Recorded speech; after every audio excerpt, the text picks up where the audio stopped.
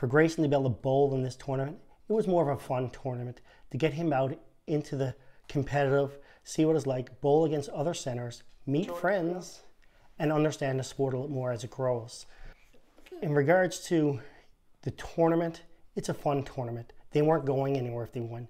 All they were winning at the end of the day was a medal and a jacket.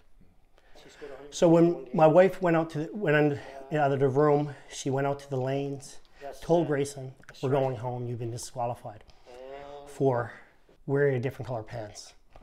So he got very upset, cried. Jennifer said, "Jennifer said, I wish I had to take a picture of him when because he has his own bowling balls, putting his own bowling balls back in his bag. He was upset." The ruling was that Grayson's pants weren't sufficient enough. He did wear a, uh, a faded black jean. I understand the rule. I'm not arguing the rule whatsoever. And the rule is? The rule is you had to wear black pants. The problem I have with is that they allowed him to bowl prior. We have a 15 minute warm up. Gord Davis was the head of the YBC program, could have approached our team, our director. They could have approached her and said, Grayson needs to wear black pants. Give us a bit of an option to go out.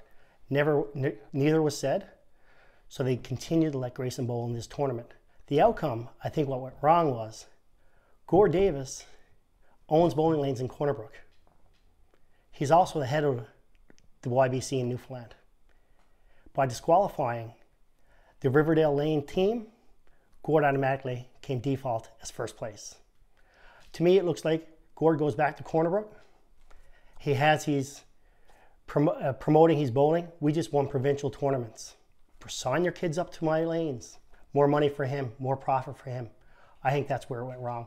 And for Gord to say that a rule is a rule, I'm not arguing it one bit, but how he did it, to let the kids bowl, let them win, because they, they obviously won the tournament, and to pull the parents into a room while the kids are out on the floor waiting for their medals and say, your kids have been disqualified because of a technicality over a color of pants, he should be ashamed of himself.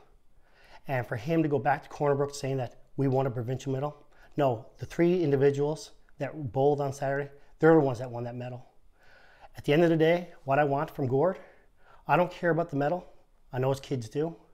I need him to make this right so it doesn't happen to another kid in the future.